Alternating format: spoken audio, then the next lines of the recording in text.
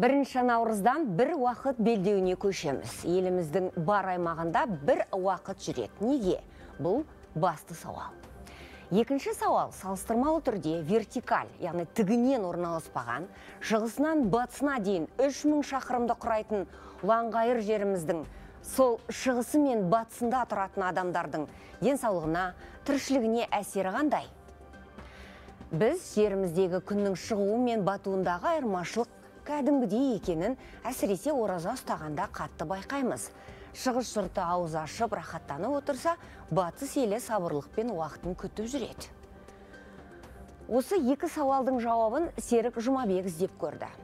Бір нәрсені бірден айтып кеткім келеді. Қазір қанша тырыссақ та бәрін бірінші наурыздан кейін ұғатын сияқтымыз. Ғалымдар қазақстанның басым бөлігі соңғы бір ғасырда өзінің табиғи уақытына қарағанда бір сағат ерте келе жатқанын айтады. 1930 жылы 16 маусымда сталиннің жарлығымен кеңес одағының барлық аумағында уақыт бір сағат ілгері жылжытылған. Негізгі мақсат табиғи жарықты тиімді пайдалану және электр энергиясын үнемдеу деп түсіндіреді. Міне содан бері 5 сағаттық белдеудегі астана алматы секілді қалалардың бәрі әлі күнге басқа уақыт белдеуімен жүруге мәжбүр. Біздің қазақстандағы сталиннің заманынан бір сағат озық декреттік уақыт қолданыста. Декреттік уақыт тіптен зиянды. Одан кейін 1981 жылдары біз ә, жаңағы шетелдің практикасына еліктеп жазғы уақыт оған тағы қостық. Сондықтан ол шешімдер ол кездегі жазғы уақыт қолдану деген қате болды. Ә, сондай қателіктердің салдарынан шатасып шатасып біз қостанай мен қызылорда облысын басқа уақыт белдеуіне ауыстырып жіберген жағдай болды. Декрет уақыты болғанда кезінде бір сағатты ұрлап алды деп айтуға болады. Алып қойды да қайтадан қалпына келтірген жоқ бір қызығы 2014 жылы ресей дәл осы декреттік уақыттан бас тартқан. Ал біз бұл мәселені енді көтеріп жатырмыз. Қазақстанда ресми түрде UTC 5 және UTC 6 сағаттық белдеулер қолданылады. Салдарынан батыс өңірі мен басқа аймақтар арасында бір сағат айырмашылық қалыптасты. Ғалымдар UTC 6 аумағындағы тұрғындар өзінің географиялық уақытынан шамамен бір сағат 20 минуттай алда өмір сүреді. Тиісінше биологиялық ритмдері бұзылып созылмалы аурулардың пайда болуына ықпал етті деп дабыл қаққаны да сол. Тіпті хронобиология ғылымында әлеуметтік сағаттық белдеулер ауысуы синдромы деген термин пайда болған. Сіз UTC 6-да ұйықтап жатқандықтан түнгі уақытыңыз бір сағатқа қысқарып отыр да и сол бір сағат жеткіліксіз болғандықтан адамның ағзасында керек регенерациялық процесстер өтіп үлгере алмай жатыр да. Сондықтан рак көбейіп кетті жүрек аурулары көбейіп кетті инсульт көбейіп кетті суицид көбейіп кетті. Ажырасулар көбейіп кетті. Неге өйткені ол адамның психоэмоционалдық состояниесіне әсерін береді да? Өзіңіз білесіз қызылорда облысында жаңағы батыс өңірлерде де астана уақытымен қойылған жиналыстардың сәйкессіздігі бар. Оларды азанға тоғызға қойған жиналыс бізде сегіз түстің кезінде үште қойылған бізде түскі ас уақыты деген сияқты сәйкестіктер пойыздан самолет уақытына шатасу деген сияқты мәселелер бар. Міне осындай келеңсіздіктерді болдырмас үшін UTC 6 сағаттық белдеуін мүлдем алып тастап бүкіл елді бір уақыт UTC 5 белдеуіне көшірмек. Сәйкесінше қазақстан бойынша бір уақыт белгіленеді.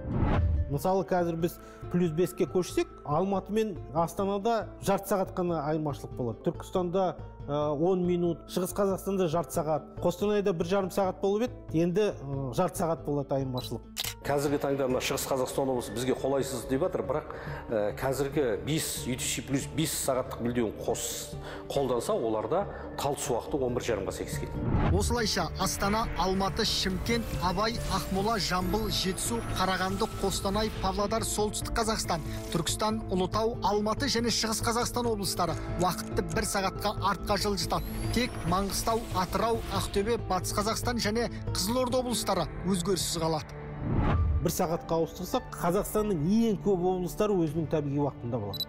Сразу хочу оговориться что уақыт белдеуін өзгерту адам ағзасына ерекше әсер етпейтінін бірден ескерткім келеді. Әрине бұл психоэмоционалды фактор. Тағы да қайталаймын бұл өзгерістер денеге қысқа уақыт қана әсер етеді. Адам екі үш күн ішінде бейімделеді. Мамандар әлемнің 175 елі бірыңғай уақыт белдеуімен өмір сүретінін айтады. Яғни қорқатын дәнеңе жоқ. Қазір мұндай тәжірибені көршілес елдерде қарастырып жатқан көрінеді. Қытайда бірақ пойыз. Қытайдың жері енді бізден екі есе үш есе көп үлкен ғой.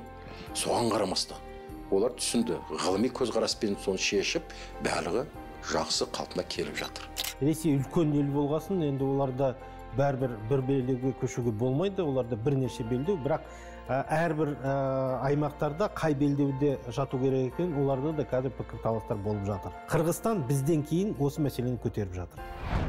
Естеріңізде болса 2018 жылы қызылорда облысында жергілікті уақыт бір сағат кейінге шегерілген еді. Ол кезде де халық қалай болар екен деп уайымдаған. Бірақ қазір оның дұрыс шешім болғанын тұрғындардың өзі де растап отыр дейді мамандар.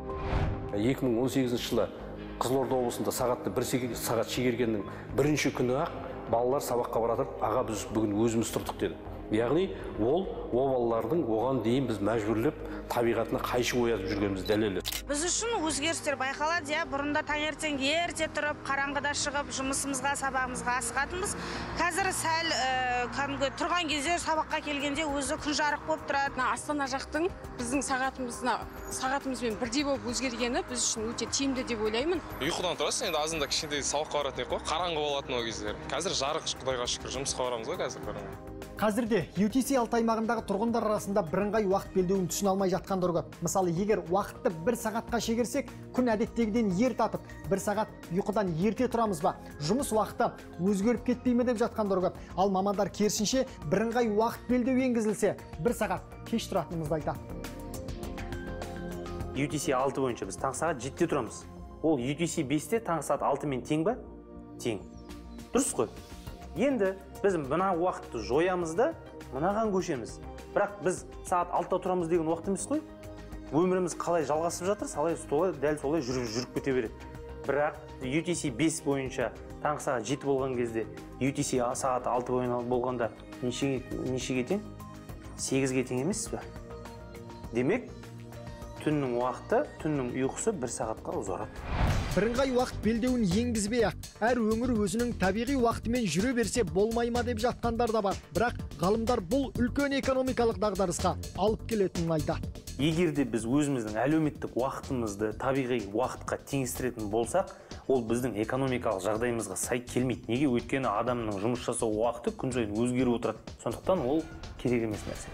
Біздің қолымыздан келетін тек әлеуметтік уақытты өзгерту болды. Қысқасы уақыт белдеуінің өзгерісіне бейімделу үшін әр азамат күн тәртібін дұрыс жоспарлай алса жеткілікті. Бұл біріншіден денсаулық үшін қажет. Егер де тынығу уақыты мен белсенді жұмыс жасау уақытының ара қатынасы дұрыс сақталынатын болса бұл денсаулыққа зиянын тигізбейді. Егер түнгі сағат 12-де ұйықтамасақ бауыр қызметінің әлсіреуі жалғаса береді. Ол уақыт созылған сайын ә, сол ағзаның қызметін бұзылысына алып келеді жауаптылар бірыңғай уақыт белдеуін енгізу бір реттік шара. Әрі қаржылай шығынды қажет етпейді деп отыр. Бар болғаны 29 ақпаннан бірінші наурызға қараған түні. Әлеуметтік уақытта. Яғни қолыңыздағы сағат тілін 60 минутқа артқа жылжытсаңыз болғаны. Серік жұмабек бақтияр омаров жамбыл отқабдыбай апта.